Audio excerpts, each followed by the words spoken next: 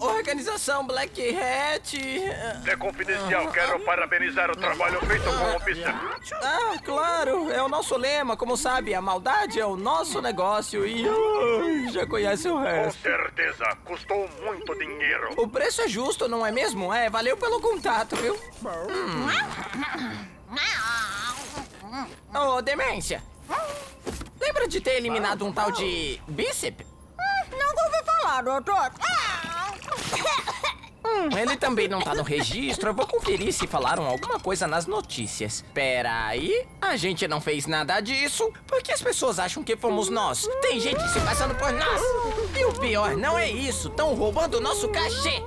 O quê? Pois é, o que se passa na cabeça das pessoas que se vestem igual você copiando sua identidade? Mas não é pra isso que servem os cosplays? Temos que impedir esse pilantra. E como a gente vai fazer isso? Não é como se do nada eles fossem convidar a gente pra alguma coisa. Puxa, você tá bem? Hã? O que que você tava falando? Não é como se do nada o Black Hat viesse me beijar até eu desmaiar.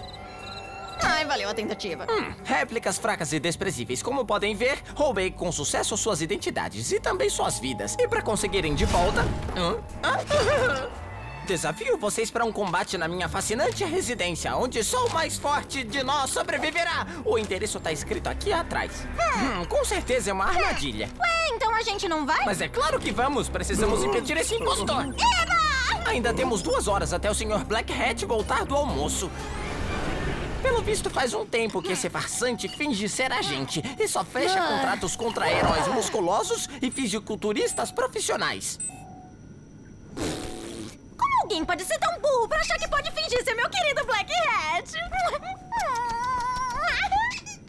Pois é, nem me fale. É melhor a gente lidar com isso. E outra, os advogados não finalizaram nosso último processo de plágio.